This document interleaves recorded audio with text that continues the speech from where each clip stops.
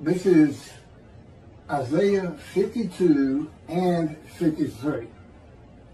Isaiah chapter 52, the final verses, verses 13, 14, and 15, begin the description of God's righteous servant that leads into, of course, chapter 53. It's the last three verses of chapter 52 and all the verses of chapter 53. Chapter 52 is a chapter of prophecy fulfilled by the return of the remnant of the of 13 tribes each. A remnant of each of the 13 tribes returned to Jerusalem to build God's second temple as a holy seed. As God has forgiven their sins while they make their way back.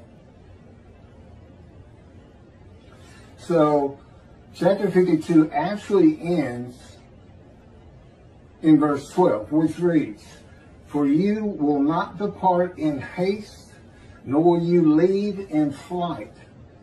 For the Lord is marching before you. The God of Israel is your rear guard. Now, God accomplishes this by anointing a Gentile, Cyrus of Persia, who had defeated Babylon, who had defeated the Chaldeans. They went back and forth all the time. You might say Cyrus defeated Babylon and the Chaldeans, who had defeated Assyria, where the northern kingdom uh, had been uh, deported to, all that land, all the land of Babylon.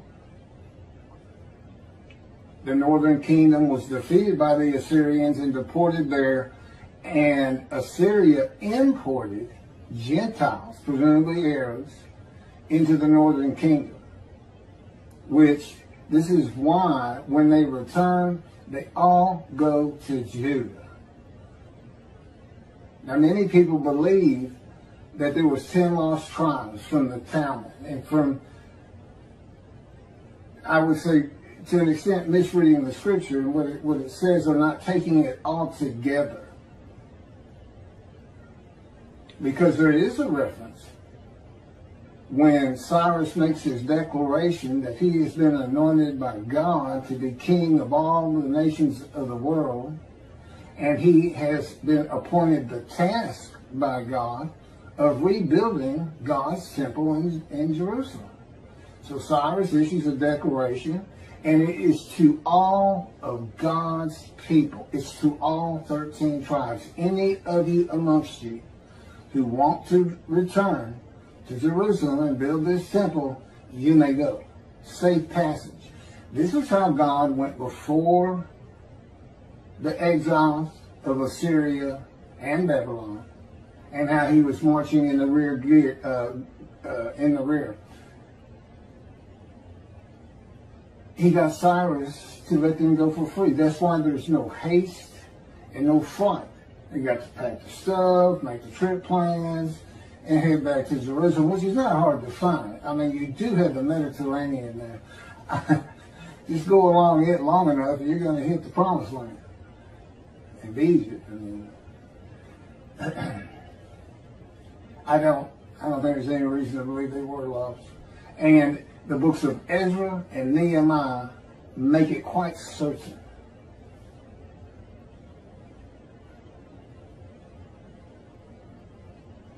This is what it sound. Uh, this was one Chronicles. No, Ezra chapter one verse two. Thus said King Cyrus of Persia the Lord God of heaven has given me all the kingdoms of the earth and has charged me with building him a house in Jerusalem, which is in Judah. Any of you and all of his people, all of his people, may his God be with him and let him go up to Jerusalem that is in Judah and build the house of the Lord God of Israel, the God that is in Jerusalem. And then verse, and then it picks up from there. So the chiefs of the clans of Judah and Benjamin, and the priests and the Levites, which is the 13th tribe. So you really have 13 and 10, not 12 and 10. There's three tribes right there. All whose spirit has been aroused by God. They got ready to go up to build the house of the Lord that is in Jerusalem.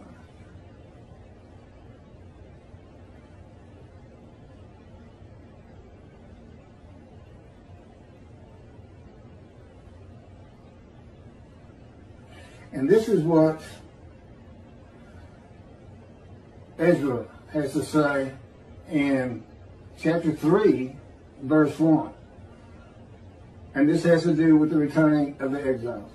When the seventh month arrived, the Israelites, being settled in their towns in Judah, the entire people assembled as one man in Jerusalem. When the people Israel gather as one man, it is all 12 tribes and the priestly tribe of the Levites as Israel, which is how some people interpret Isaiah 53, to be the people of Israel by the name Israel when they gather as one man. In 1 Chronicles chapter 9, verses 2 and 3. The first to settle in their towns, again, the exiles, on their property that they took when they got back. Nobody had been there during the exile. Were Israelites, priests, Levites, and temple servants, while some of the Judahites and some of the Benjamites and some of the Ephraimites and Manasseites. There's two more tribes. Where are these lost tribes? Everybody comes back. God's prophecy was, I'm pulling them all back from the four corners of the earth, which would have been the Middle East in that day and time, as far as anybody knew. So we know Benjamites came back, Judahites, and Levites, Manasseites, Ephraim, and which, by the way, Manasseh, Ephraim, and Judah were the largest landholders. Those are the names you're going to mention. And of course, you will mention the priestly tribe, the Levites. And not necessarily the smaller lots owners of the great partition by Moses and Joshua in the promised land. Verses 13 through 15 are combined multiple verses by quotes, except most renditions of the translation of the Hebrew to English don't have the quotes. The Jewish Publication Society, to decide to start from scratch in 1956 or 7, and just get the original Leningrad Codex, the oldest Hebrew text that we have on the Hebrew Bible, and they started from scratch. It's the best rendition you can find. A lot of it because of the knowledge in the world in 1957 versus lots of renditions that are used from back in the Talmud days. Chabad.org. They use a version that has the commentary of Rashi, does not have the quotes. And it is important.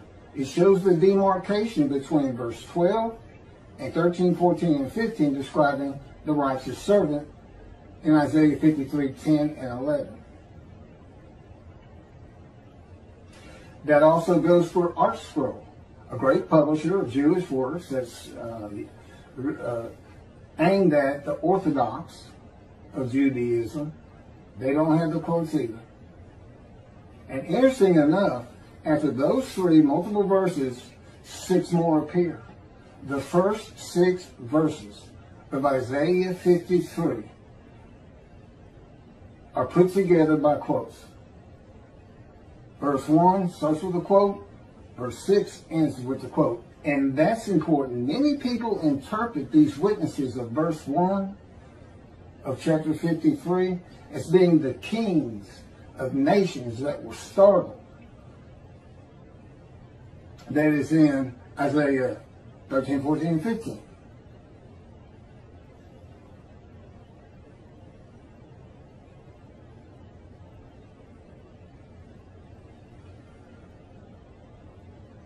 But it's not. It's the people who were ma- are made righteous by the righteous servant. They're the ones. Who can believe what we have heard? Who can believe our report?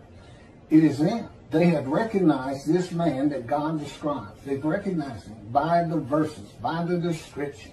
Every verse descriptive. And they're, they're trying to basically spread the word. He is here the righteous servant of God. Which means, of course, God's here. God's got to got to tell him, you know, who he is and teaching and, and tell him, uh, I am the one that gave you cancer. I chose to. And it exposed you to death. That's in verse 12. But I give you long life. But I give you long life. Supposed to die. Even in the, the Christian version, they say God brought this righteous servant to to grief with illness. Well, if you, illness is not the right word, it's disease. But be that as it may, you don't fall to grief if you've got the common cold or the flu. When he says sickness, he means a sickness that exposes you to death. Today, of course, we think of cancer first.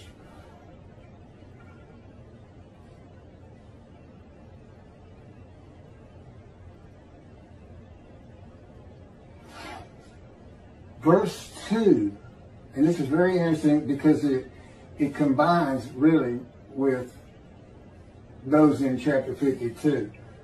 For he is grown by his favor like a tree crown, like a tree trunk out of arid ground. He had no form or beauty that we should look at him, no charm that we should find him pleasing in 50, chapter 52, they talk about uh, his image was such uh, that you could not even recognize him as human. But here's the best description of it. He comes from a Christian country. That's the arid ground. And you say, well, wait a minute, how can you possibly know he comes from a, a Christian country? Because of Isaiah 63. God says, or it's first written, who is this coming from Edom? With blood spattering his clothes, etc., etc. There's a lot to Isaiah 63.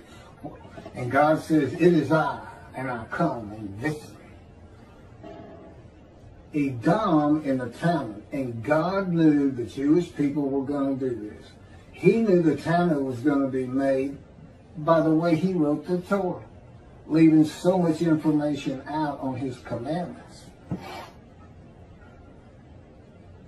In the Talmud, Esau, the eternal enemy of his brother Jacob, is associated with Edom, who became associated with Rome then Rome Christianity, Rome fell, and today a reference to Edom is to Christianity. And God knew that. Why else would he have a verse written that that's where he's coming from? And when? Malachi 3. I'm going, I'm sending my messenger, and I shall return to my temple suddenly. And the messenger is to clear the way and deliver the new covenant of Jeremiah 31. Now his name's Elijah, and that's interesting because Elijah is the messenger of Malachi 3. I want to get back to the man described as a Gentile in just a moment. Because it says, who's this coming from Edom? And God says, of the peoples, none were with me. There's no Jews with you. That's the peoples he's talking about. And as I said, there's a lot more to this. But I'm just going to keep it right there dealing with chapter 52 in the first six verses of chapter 53. In Malachi 3, God sends Elijah back, but he's the only man to be taken to heaven in the Hebrew Bible, specifically. Specifically takes him, the chariots of God, take him up in a whirlwind, and his body disappears. And then he sends him back. What do you ask the man who says he's Elijah? Tell us about heaven. Tell us every mystery of heaven there is. That's a proof. But there's a better one. I'll get to that. Because you wouldn't necessarily believe what he said. It's one. That it is helpful. And that's, and he's the man to select also for this reason. God also says in verse 1, the angel of the covenant that you desire is already on the way. Well, if Elijah is the messenger and he's from heaven, then he's got to know the angel and they can converse. Turns out that's the angel of God's presence, I believe. Angel of God's presence. Wherever God's presence is, which is his mind, it's where he feels he is. It it's what of God, the consciousness of the universe, enters into the temple. And he has his spirit around him.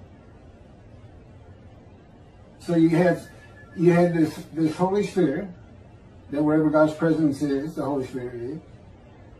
And wherever his presence is, the angel is. I believe that God created an angel. And as its body, physical form that we cannot see from the unseen realm of God, is the Spirit of God itself. It's not the likeness of a human being with wings. And God puts this in Isaiah 63. That's why I'm bringing it up. And also, of course, why you pick Elijah. He can talk to the angel. Angel delivers the message.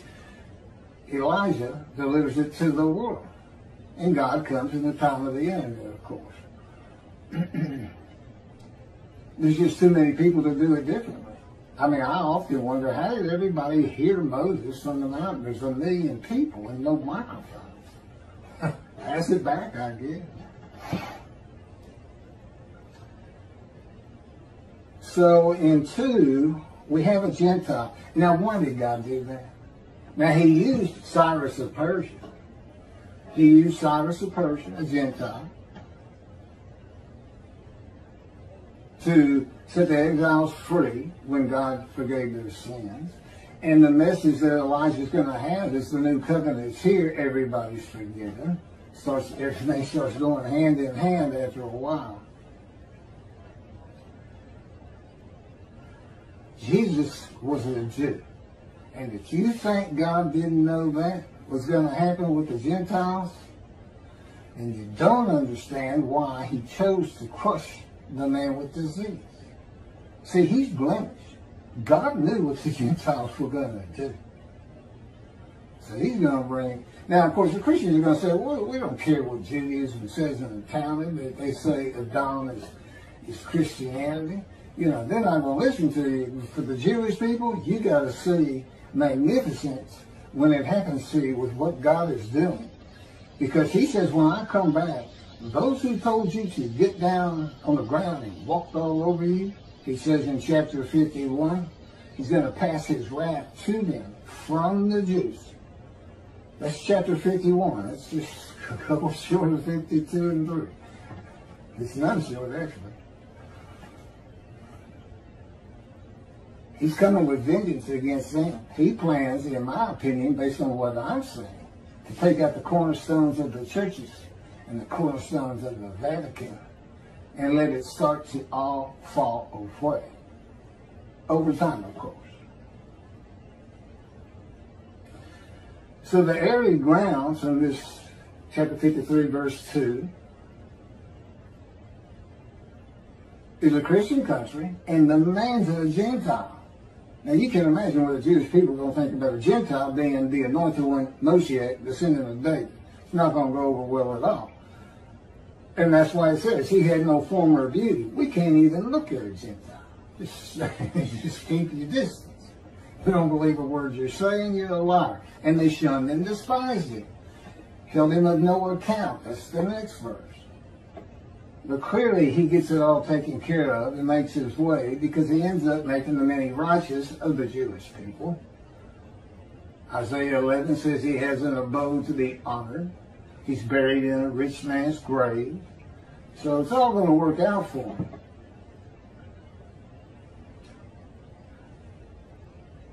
He's just got to get to Israel, convert Orthodox, and become an Israeli citizen, and make sure everybody realizes wherever he goes, God goes. Just like Moses. If you went and found Moses, you figured God's real close by. It's the same with this man. Prophet like Moses, Elijah, descendant of David, and we have one description. God sends four men, and he gives one description. This righteous servant is going to have the capabilities, the attributes of whatever it takes to do whatever Elijah can do, whatever the prophet like Moses can do, whatever the descendant of David can do. And he calls him, my servant David, a shepherd. He's not a king. There is no kingdom to be gathered. God knew Israel was going to be a democratic country. He knows everything from beginning to end. That's how you can see it, how all, you know, you've got three different books. You got Isaiah describing the righteous servant. You have Jeremiah giving you a new covenant that he ends up delivering. Because his purpose is the same as Elijah. Believe it or not, Elijah recounts as the father to the son and the son to the father by drawing them back to Judaism, which means to righteousness, with the new amendment to the first covenant, be mindful of the, of the teachings I gave Moses, of the laws and rules and commandments for all of Israel. He's making the many righteous, and his purpose might prosper. God says, if he doesn't get it done, I'm going to come with an utter destruction. Basically, that means Elijah's got to be recognized for who he is, the righteous servant. And he's got to draw people to him because no one can have that temple built by themselves. And that's what God's saying. If you don't build it, the day is going to come that that land is going to be utterly destroyed. He doesn't mean he's going to do it in his power any more than he raised up the Babylonians and the Assyrians or Rome as armies because the Jews wouldn't stop sinning. Lift the sword against you, pestilence.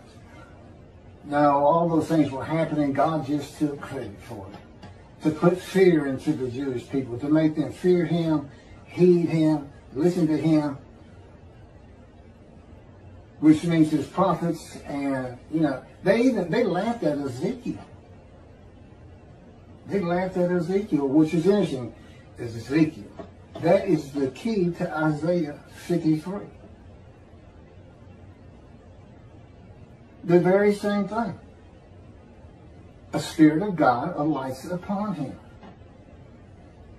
That's Isaiah 1, uh, chapter 11, 1 and 2 light upon. It's a little bit different with Ezekiel. He said God was telling him to get up on his feet. He says, at that moment, a spirit entered into me, and I could hear God's words. Now, this is actually, I've got well over five documentations in the scripture for what I'm about to say, but it's a whole nother video. God is in his spirit. This whole, his way of communicating, and it falls true for all the prophets, for Moses, and there's backup for it. He tells, I'll give you one, he tells the Israelites, I'm sending my angel before you.